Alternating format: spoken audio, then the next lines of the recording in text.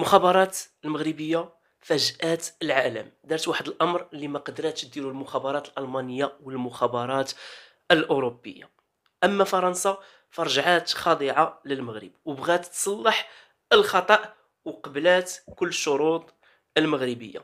كذلك غادي نتحدثوا على الإقالة ديال المدير العام للتلفزيون الجزائري والسبب ديالها بطبيعة الحال هو المنتخب المغربي. أخيرا متابعينا الكرام غنشوفوا الصحف الفرنسية كيفاش كتحدث على المنتخب المغربي وشنو هي التوقعات ديالها. هذه هي الأخبار ديالنا اليوم.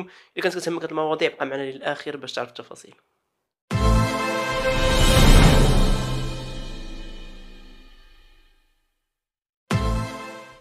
السلام عليكم ورحمة الله تعالى وبركاته متابعينا الكرام. زوار موقع المهاجر. كما عودناكم دائما معكم زوفيان المرزوقي من قناتكم المفضلة قناة المهاجر. أخي الأخبار واخي المستجدات. أول شيء بداية أسبوع موفقة للجميع ونتمنى يا رب العالمين تكونوا في أحسن الأحوال. نبداو على بركة الله الإخوان بخبر مهم جدا للغاية.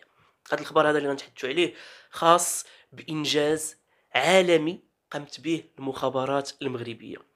اللي غريب في الأمر هو المدة الزمنية اللي قضات المخابرات المغربية باش تنهي مشكل كبير عند دولة أوروبية كبيرة مثل ألمانيا. فهذا الأمر اللي قامت به المخابرات المغربية خلى الأسهم ديالها تطلع وخلى المغرب يبان في واحد المكانة أرقى جدا مما كان عليه من قبل مع الاتحاد الأوروبي رغم عن أن الاتحاد الأوروبي كان عارف المكانة ديال المخابرات المغربية وذاك هو السبب ناهيك على الدبلوماسية كذلك ديال المملكة المغربية القوية اللي خلات الدول الأوروبية تسارع باش تربط علاقات قوية مع المغرب. الاستخبارات كما قلت لكم الإخوان المدة الزمنية اللي نهات فيها المخابرات المغربية واحد المشكل كبير وهي أسبوع مدة ديال أسبوع. ف وحنا كنتحدثوا على المخابرات المغربية غنتحدثوا هذه المرة على مالي. هادشي هذا وقع في مالي المنطقة ديال مالي والعلاقة ديالها مع فرنسا.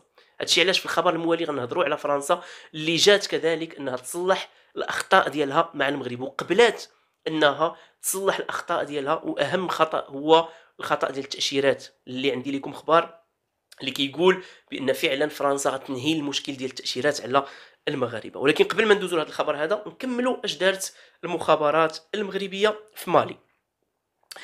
آه، مجلة دير شبيغل الألمانية هي اللي كشفات هذه الأمور هذه تقرير حديث قالت أن المخابرات المغربية تمكنت من خلال عملية نوعية من الإفراج على أقدم رهينة ألماني.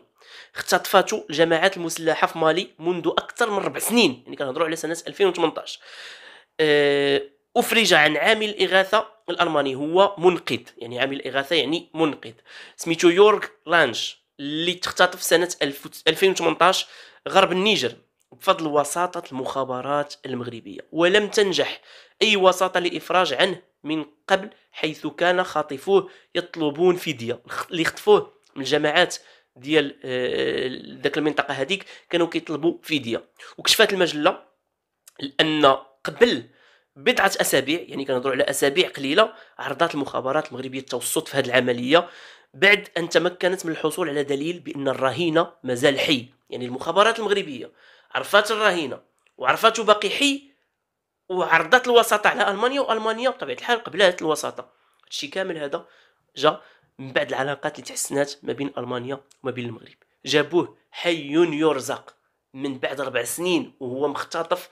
يعني وهذا الشيء هذا من غير هذا الإنجاز اللي قامت به المخابرات المغربية خلى الأسهم ديالها تطلع أكثر فأكثر والمصداقية ديالها تكون أكثر. فنكملوا المعروف أن المعلومات اللي كتوفرها المخابرات المغربيه ساهمت مرارا وتكرارا في تجنب العديد من الهجمات الإرهابية في عدة عواصم. هذا الشيء هذا كان يعني وقع من بعد ما الدول الأوروبية خدات الثقة ديالها في المخابرات المغربية. نذكركم بعض الأعمال الارهابيه اللي كانت طرات في ألمانيا سنة 2016 في سوق أعياد الميلاد برلين في دجنبر بالضبط دجنبر 2016 لو كان كانت هيئة مكافحة الجريمة الاتحاد الجريمة الاتحادية رسلات يعني المعلومات المهمة اللي توفرت عليها يعني المخابرات المغربية وقدمتها لها كنت تجنبات ذاك الفعل هذاك. وكذلك ما نساوش الأعمال الإرهابية اللي طرات في بلجيكا. كون كانت يعني بلجيكا صغات المخابرات المغربية ما كانش غيطرى داك الشيء هذاك في المطار ديال بروكسل. فهاد الشيء هذا كامل خلاه الدول الأوروبية تحس بأن فعلا هناك مجهودات كتقوم بها المخابرات المغربية وكل هاد الدول هذه قدرات من بعد من بعد هاد الشيء هذا اللي طرا سنة 2016 وداك الشيء اللي طرا في بلجيكا وداك الشيء كامل قدروا هاد الدول هادو يكافحوا الجريمة الإرهابية يعني مع المخابرات المغربية بطبيعة الحال وقدروا يعني يوصلوا لمعلومات مهمة جدا والغريب في الأمر هو أن ديك المعلومات هذيك دقيقة جدا. فهنا فاش كنهضروا على مالي الإخوان كنهضروا على واحد المنطقة اللي كانت فيها فرنسا. مؤخرا شنو طرا في مالي؟ السنة الماضية مشاو ضحية ديال أعمال إرهابية آه، سائقون مغاربة اللي كانوا كيسوقوا شاحنات مغربية.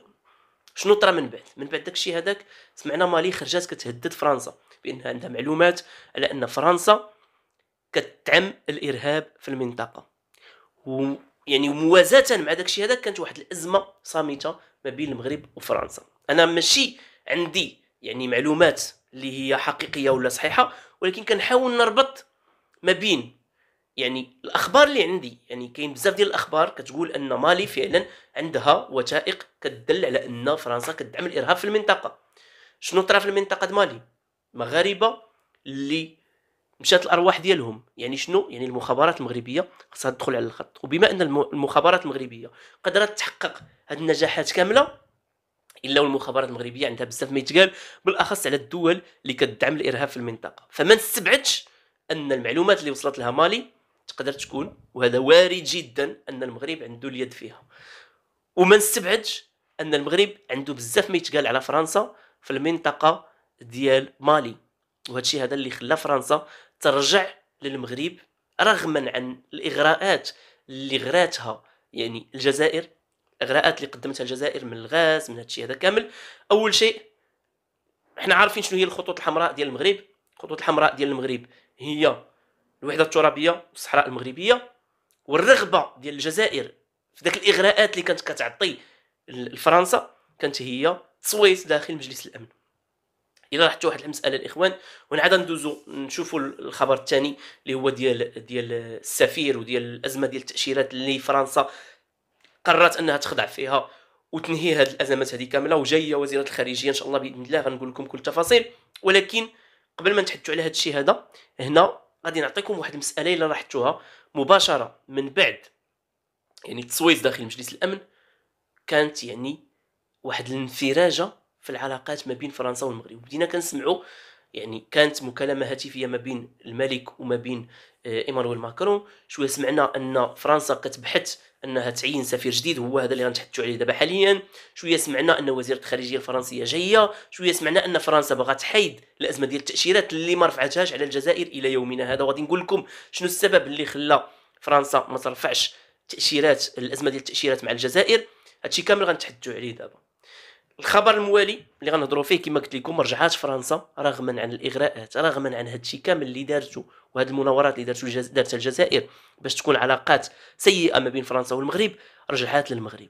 فهنا خليو 100 علامه استفهام محطوطة بما أننا ما عندناش معلومات يعني موثوقة اللي كتقول فعلا إن المغرب عنده شي حاجة على فرنسا ولا شاد شي حاجة على فرنسا ولا كاين شي حاجة بين المغرب وفرنسا اللي حنا ما عارفينهاش ما غاديش نتحدثوا على هذا الموضوع هذا وغادي نخليه ولكن غنشوفوا كيفاش فرنسا على الأقل على الأقل ما نرجحه هو أن فرنسا ما تقدرش تستغنى على يعني الشراكة الاستخباراتية ديالها مع المغرب. وحنا عارفين هذه المسألة هذه كيفها كيف إسبانيا كيف ألمانيا كيف الدول الأوروبية كاملة. وبالأخص منين الأسهم ديال المخابرات المغربية بقات غادية وكتطلع. راه قلتها لكم سابقا الإخوان وقلت لكم الدبلوماسية قوية. ولكن كاينة واحد الحاجة اللي ما كنهضروش عليها بزاف. الدبلوماسية مزيان تكون قوية ومزيان تكون ذكية ويكون الذكاء الدبلوماسي عند البلاد.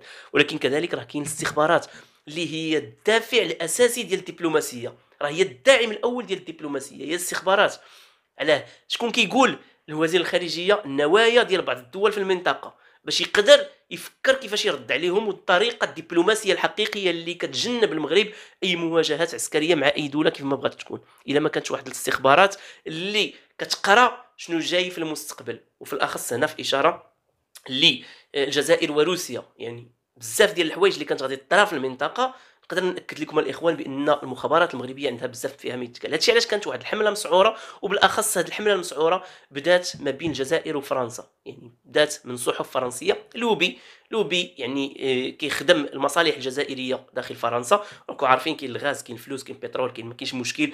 أهم حاجة هو المضايقة ديال المغرب والشعب الجزائري ما كاينش مشكل. هادشي علاش قلت لكم أن الأزمة ديال فرنسا مع الجزائر التأشيرات ما تحيداتش لأن كون كان اقترحها مثلا الرئيس الجزائري ولا فكر في الشعب ديالو اللي اول متضرر من هذه الأزمة ديال التأشيرات كما دار المغرب وأول الشروط ديالو هو أن الأزمة ديال التأشيرات ما تبقاش كون راها رفعتها آه، فرنسا. ولكن يقدر دفع على التونسيين يعني ورفعت عليهم الحصار ديال التأشيرة ولكن ما دافعش على الشعب الجزائري لأن آخر حاجة كتهم داك السيد هذاك في ديك البلاد هذيك على ما أظن هو الشعب الجزائري. يعني الشعب الجزائري هو آخر من التحق ما كاينش مشكل. المهم مضايقة المغرب المهم نخلق مشاكل المغرب المهم نضغط على المغرب ولكن الشعب راه تماك ماشي مشكل. نديروا له الأزمة التأشيرة ندير لا المغرب فارض على فرنسا أول شيء. هو الأزمة ديال التأشيرات تحايد. عادي إلا كاين شي نقاش عادي إلا كاينة شي هضرة أجي نهضروا داك الساعات. وزيرة الخارجية ديال فرنسا غتوجه للمغرب ومعها السفير الجديد والتأشيرات اولويات الأولويات. يرتقب يترقب المغرب وصول السفيره الفرنسي السفيرة الفرنسية أعتذر السفير الفرنسي الجديد في خطوة إيجابية من باريس لإنهاء أزمة صامتة بين البلدين فجرتها حرب التأشيرات التي راح ضحيتها الآلاف من المهاجرين المغاربه وذكر موقع آه، Maghreb Intelligence آه، حسب مصادر فرنسية أنه من المرتقب أن يصل سفير باريس جديد في 15 من الشهر الجاري مرفوقا بوزيرة الخارجية كاثرين كولونا والتي تخصص في نفس الفترة زيارة خاصة إلى المغرب من أجل التحضير لقدوم الرئيس الفرنسي إيمانويل ماكرون. وبحسب الموقع ذاته فإن الجانب الفرنسي يحرص على وضع أزمة تأشيرات في مقدمة جدول الأعمال بين وزيري خارجية البلدين. وسبق أن أشارت مصادر متطابقة إلى تعيين باريس لكريستوف لوكورتي سفيرا لدى المملكة المغربية وهو رجل أعمال يسعى لملء فراغ دبلوماسي صعب وإعادة الثقة لدى الشركاء المغاربة. هذا هو اللي تحدثنا عليه سابقا المتابعين الكرام اللي هو كريستوف لوكورتي وهذا هو السفير اللي على ما أظن غادي ياخذ المنصب ديالو في المغرب وغادي تمشي وزيرة الخارجية باش تحيد الأزمة ديال التأشيرات. هي الأولى عاد إلا كان غادي يجي ماكرون للمغرب. فالمغاربة ما كيخضعوش وما كيبوسوش الكتاف وما كيتذلوش باش فرنسا ترفع الأزمة. قالها وزير الخارجية المغربي قال هذاك أمر ديال فرنسا بغات دير دير اللي بغات هي حرة مسألة ديال السيادة. ولكن المغرب عنده ما يقول. يعني المغرب عنده الطريقة ديال الرد ديالو. بغات الأزمة. أزمة نشأت أزمة صامتة ما علقش عليها المغرب. سحبات السفيرة ديالها بطريقة ملتوية رد عليها المغرب بنفس الطريقة. هنا غادي نفهموا الكلام ديال وزير الخارجية المغربي سابقا فاش قال لهم مغرب اليوم ماشي هو مغرب الأمس. مغرب اليوم فعلا ماشي هو مغرب الأمس وكيثبت لهم هذا الشيء هذا في جميع المجالات وجميع الميادين. سحبتي السفيرة ديالك بديك الطريقة هذيك جاك الرد في غضون أسابيع. لا أقل ولا أكثر. جاك الرد في غضون أسابيع. غترد السفير جديد ولا غتعين سفير جديد غيتعين لك سفير جديد. سالينا هذه هي الطريقة ديال المغرب وهذا هو الرد ديال المغرب وهذا الشيء هذا اللي كيشرف المغاربة وكيخليهم يرفعوا راسهم بطبيعة الحال. كما تحدثنا سابقا في, في, مباشرات وفي عدة آه، فيديوهات اللي تحدثنا آه، المواطن المغربي خصو ترجع له القيمة ديالو. ماشي فقط الدبلوماسية ماشي فقط المخابرات حنا عارفين البلاد بدات كتاخذ الوزن ديالها دوليا فالمواطن المغربي خصو ياخذ داك القيمة ديالو فاش منين يخرج من البلاد يبقى الاعتبار ديالو مصون ويبقاو يديروا ليه ألف حساب كما كيدار لكل الشعوب وكل الدول بطبيعة الحال لأن المغرب دولة قدرت تفرض نفسها يعني في العالم فهاد الشيء علاش اللي باقي هو المواطن المغربي ترجع ليه الكرامة ديالو يرجع ليه داك القيمة ديالو لأنه مواطن مغربي ويستاهل كل الاحترام أينما حل وارتحل. وهذا الشيء هذا هو العمل ديال الدبلوماسية والعمل ديال آه، يعني الناس بالأخص الدبلوماسية المغربية. ونذكركم يعني ببعض يعني الأمور اللي قامت بها المملكة المغربية مع إسبانيا مثلا نهار تم الاعتداء على آه، أطفال داخل آه، في جزر الكناري تم استدعاء ديال السفير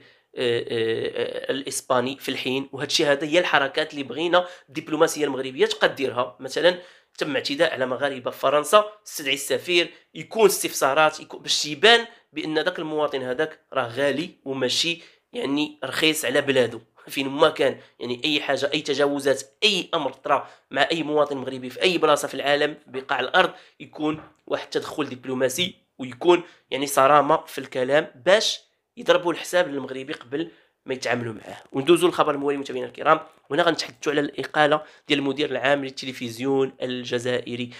سبحان الله العظيم الجزائر كتعطي الدليل والحجة. يعني كل نهار كتشتغل وكتجتهد باش تبين للاخوان العرب على أنها فعلا دولة اللي ما كتحملش شي حاجة مغربية.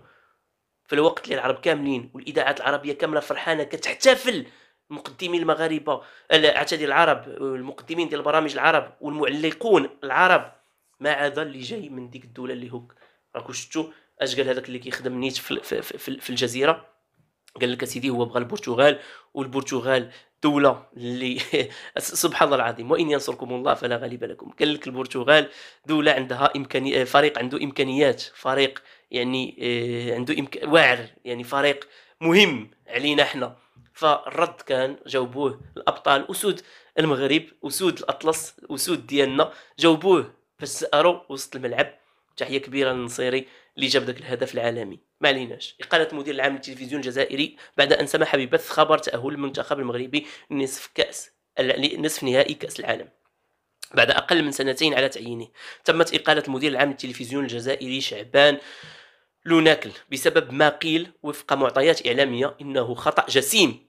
بعد أن سمح بإذاعة خبر تأهل المغرب المنتخب المغربي لنصف نهائي كأس العالم. بعد فوزه على المنتخب البرتغالي بهدف لصفر في ربع النهائي في البطولة التي تجري في قطر. وأنهيت مهام شعبال لوناكل بعدما يزيد عن سنة ونصف في مبنى ساحة الشهداء حسب ما أكدت صحيفة الشروق المقربة من الجيش الجزائري. هذا وأشرف وزير الاتصال محمد بو سليماني. أمس الأحد على تعيين نذير بوقبس مديرا عاما جديدا للتلفزيون الجزائري. وسبق لنذير بوقبس أن شغل منصب مدير الأخبار في مؤسسة العمومية للتلفزيون الجزائري حسب ما أشار إليه بيان لوزارة الاتصال. وكانت وسائل الإعلام الجزائرية قد مارست تعتيما غريبا على نتائج المنتخب المغربي في كأس العالم بل كانت تتفادى ذكر فوز أسود الأطلس.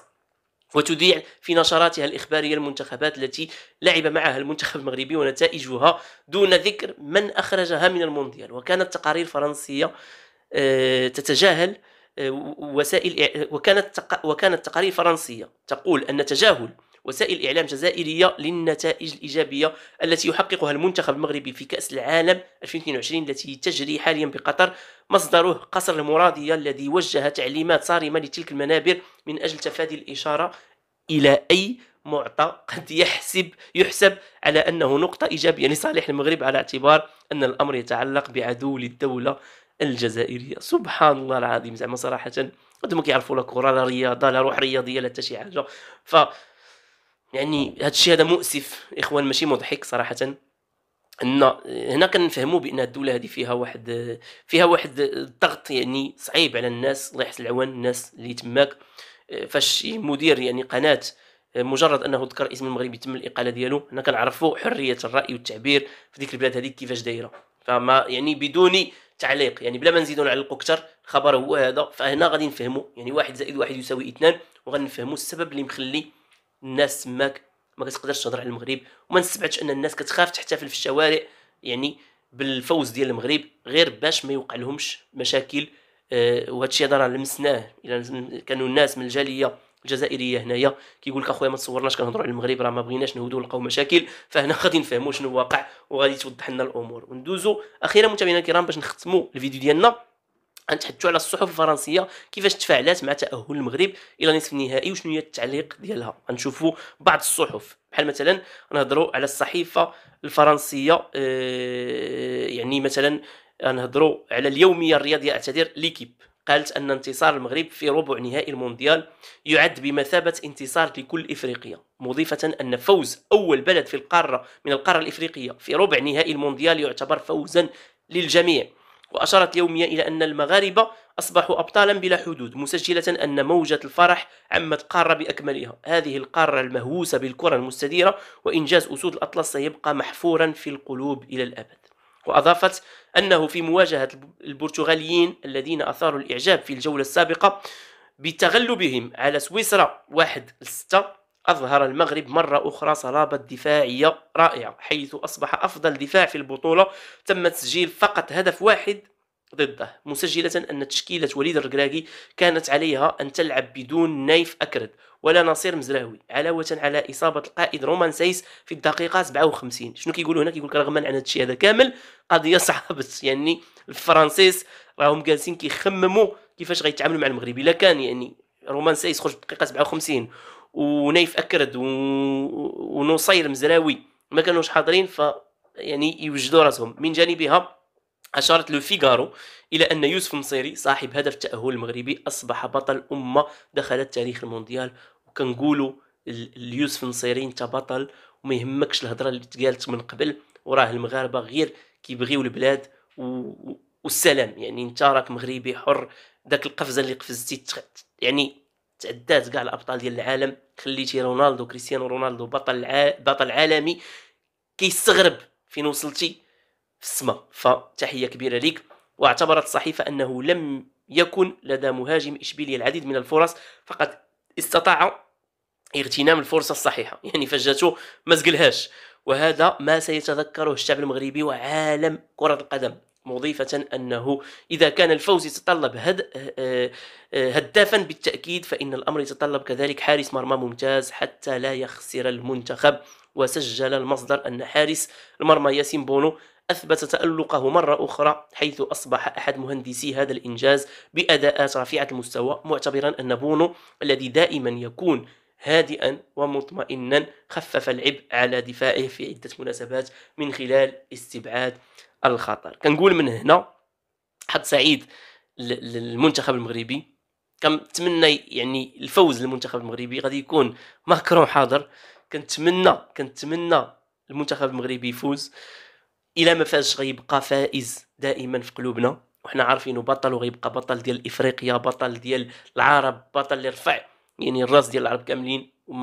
كما كانت النتيجة الشباب تقاتلوا وجابوا رفعوا راس المغاربة عرفوا بلادهم بواحد الطريقة صحيحة واحد الطريقة زوينة اللي خلاتنا حنا بالأخص المهاجرين اللي كنعيشوا في الخارج أننا نرفعوا الرؤوس ديالنا تحية كبيرة لهم وكذلك المغاربة أينما حلوا وارتحلوا سواء داخل المملكة أو خارجها كيف تاخروا بهذا الفوز هذا؟ هذا شرف كبير. كنشكركم متابعينا الكرام على الدعم ديالكم على الحضور ديالكم الدائم معنا. كنشكر كل من دخل وعطانا إعجاب ولا بارطاج ولا أي حاجة دارها مع القناة لكي تستمر. نشوفكم إن شاء الله فيديو اخر وموضوع اخر تكون دائما في أحسن الأحوال. دمتم في رعاية الله. والسلام عليكم.